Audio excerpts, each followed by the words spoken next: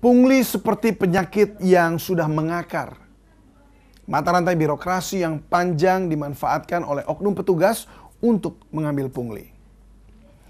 Instansi pemerintah seharusnya melayani dan bukan membebani. Tindakan tegas untuk memutus mata rantai pungli sudah seharusnya dilakukan. Saya David Silahoy. Sampai jumpa.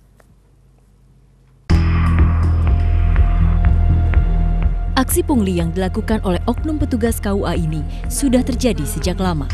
Sebenarnya pemerintah pun telah menerbitkan undang-undang yang membahas mengenai biaya pernikahan di luar jam kerja. Bahwa nikah itu kalau di kantor tidak bayar. Nah nikah itu pada dasarnya tidak bayar di, di pencatatannya itu tidak tidak, tidak boleh diaman.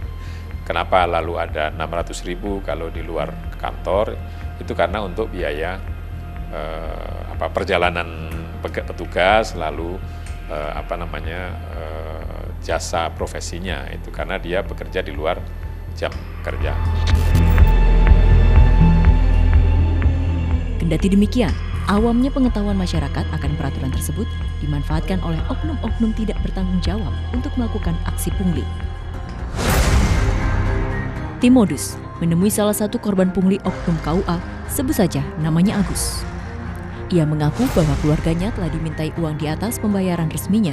Dengan modus akan diprioritaskan proses ijab kabulnya, oknum penghulu pun meminta imbalan lebih. Ya udah saya waktu itu siapkan 700 ininya. Nah, waktu itu Aminnya datang ke rumah, e, mertua ngasih uangnya tuh e, ya ada seperti ada kode gitu dari Aminnya. E, tadinya sih memang 700 mintanya e, apa harga normalnya tuh. Nah kita minta lebih saya tanya juga sampai sekarang tuh nggak dikasih tahu berapa nominalnya. Pokoknya mendekati satu juta nih. Yang lebih mengenaskan, saat hari pelaksanaan pernikahan, sang penghulu malah tak kunjung hadir di acara akad. Ya itikat baiknya, itikat tidak baiknya itu, ini kok kan udah diundang datang buat apa ya misalnya untuk meresmikan perkawinan orang itu. Ini kok kenapa nggak datang kayaknya udah mah kita bayar terus katanya sambil minta sesuatu juga tapi uh, ada bahasa lintan mau diprioritaskan tapi buktinya kok nggak ada. Agus sebelumnya memang sudah mendengar berita negatif oknum petugas KUA. Namun ketika menimpa dirinya, Agus kecewa dengan aksi para oknum petugas KUA ini. Ya jujurnya sampai saat ini sakit hati dengan sikap KUA ini kok seperti ini. Sampai minta apa seperti dibeli makanan gitu.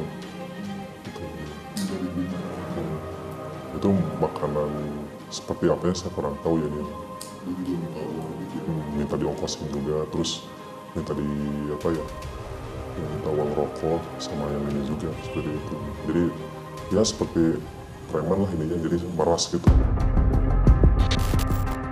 Pungli atau pungutan liar pada prinsipnya sama dengan korupsi. Petugas pelayanan publik yang meminta atau menerima sejumlah uang di luar tarif resmi termasuk pemerasan dan penyuapan. Ya, pada prinsipnya kalau kami menurut kami pungli dengan pemerasan itu hampir uh, bisa dikatakan begitu, apalagi ketika uh, pejabat atau petugas uh, pelayanan publik itu meminta sejumlah uang di luar tarif resmi, begitu. Itu adalah pemerasan pada dasarnya ya uh, kalaupun petugas itu tidak aktif ya meminta tapi diberikan oleh pengguna layanan supaya ada privilege atau keistimewaan pada oh yang memberikan uang itu bisa masuk suap atau gratifikasi gitu. Ombudsman melihat fenomena pungli ini ditandai dengan penundaan yang berlarut. Biasanya sih peminta layanan sudah memiliki syarat-syarat yang terpenuhi, tapi dari si pemberi layanan akan memperlambat. Namun ketika diberi imbalan akan diperlancar. KUA, kantor urusan agama itu masuk dalam lembaga peradilan. Jadi kita masuk di situ. Itu tuh memang paling banyak tuh penundaan berlarut. Nah biasanya nggak eksplisit, tapi itu kan membuat orang kalau udah berlarut-larut akhirnya mengeluarkan uang. Berdasarkan data yang diperoleh dari Ombudsman Republik Indonesia menunjukkan jumlah terbesar instansi yang berpotensi melakukan pungli karena adanya proses penundaan yang berlarut adalah instansi yang bergerak di bidang hukum termasuk KUA di dalamnya dengan persentase lebih dari 50 persen.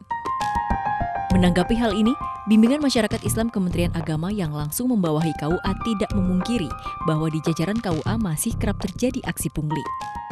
Pihaknya menegaskan akan memberi sanksi berat kepada para pelaku, mulai dari mutasi hingga pemberhentian secara tidak terhormat.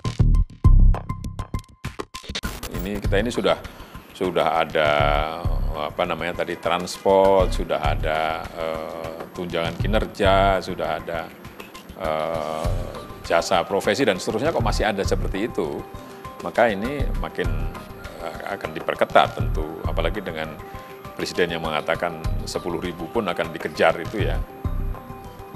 Jangankan jutaan, 10 ribu aja akan dikejar. Ini juga KUA eh, akan begitu juga. Jadi kita tidak toleransi terhadap gratifikasi atau penyuapan atau pungutan liar itu tidak tidak boleh lagi.